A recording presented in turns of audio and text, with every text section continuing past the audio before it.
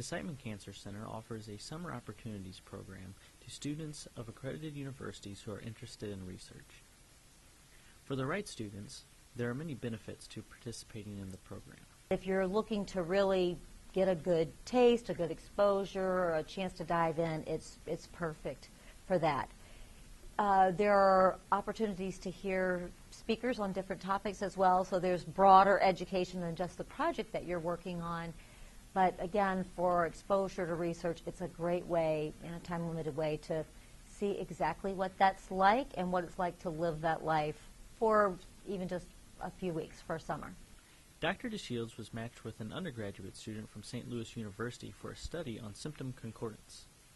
My project was in uh, clinical research with, um, with Dr. Teresa DeShields, and we worked um, on a project on a topic called symptom concordance, which is basically trying to understand um, the level of agreement between physicians and patients in three different oncology uh, clinics at Siteman. Swathi came in from the very beginning. She came in before the study actually started accruing participants, so she got to see a little bit of the logistics of launching that study.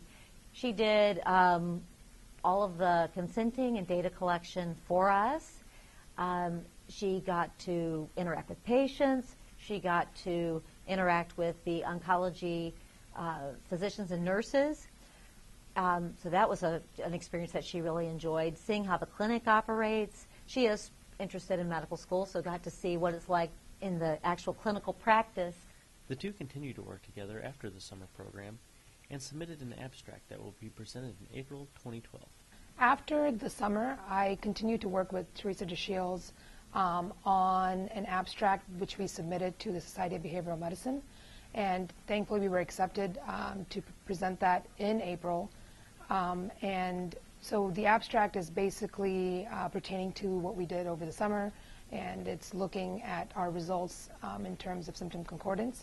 And the presentation is in the middle of April in New Orleans at the Society of Behavioral Medicine. And I will be presenting the abstract, and which will eventually lead to a paper, hopefully by the end of the year.